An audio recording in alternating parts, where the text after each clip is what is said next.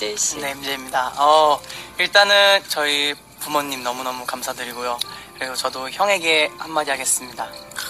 어, 일단 형이, 형이랑 제가 정말 어렸을 때부터 많이 떨어져 지냈어요. 형이, 어, 운동하는 것 때문에 제가 중학교 때까지 떨어져 살았었는데, 음, 어, 언젠간, 어우, 네, 떨어져 지냈었는데, 어, 지금도 많이 자주 못 봐서 좀 아쉽지만 지금 형이 또 뭐 준비하고 있거든요. 시험을 준비하고 있는데 이번에 꼭 열심히 해서 합격했으면 좋겠습니다. 형 응원할게.